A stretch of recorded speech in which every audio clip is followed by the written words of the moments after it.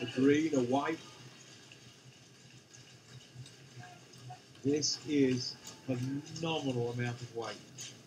Yeah, you just watch this bar bend when he unracks it, ladies and gentlemen. And it takes a lot to bend an Eleiko bar. Yeah.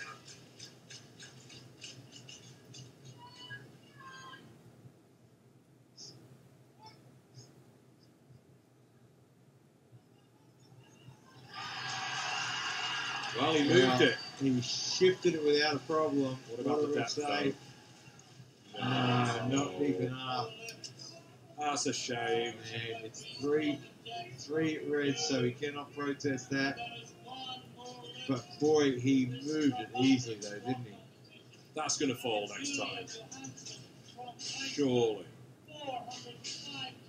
So we load back up now to 405. This is